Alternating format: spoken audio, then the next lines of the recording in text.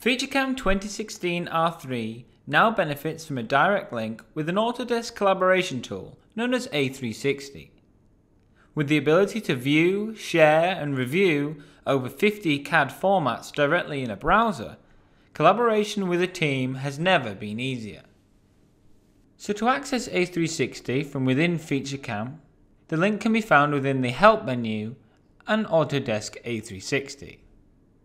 By clicking on this link, this will navigate you to the A360 homepage where you simply sign in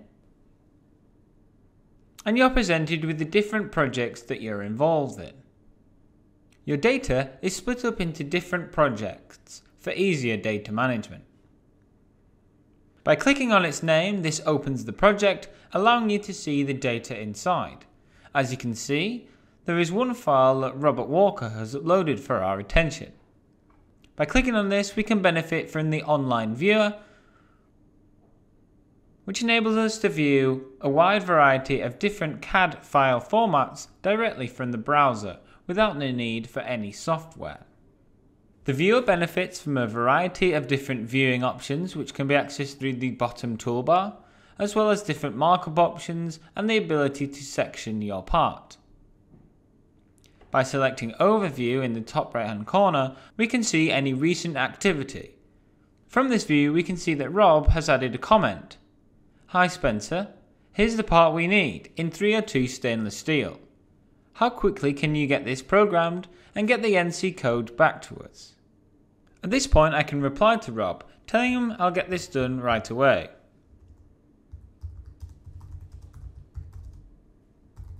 I'm also going to ask him what post he'd like me to use.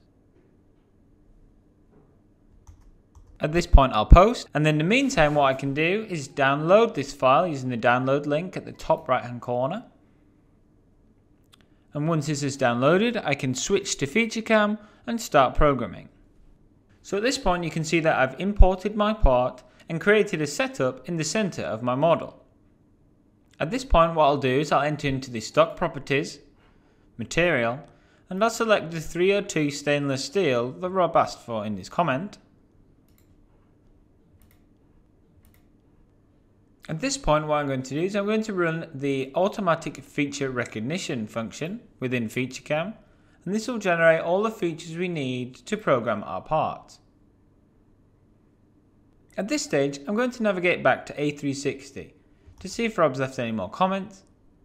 And as you can see, he wants us to program the part using a DMG DMC 60T post. So by navigating back to FeatureCAM, entering the post options, I can simply select the post that he requested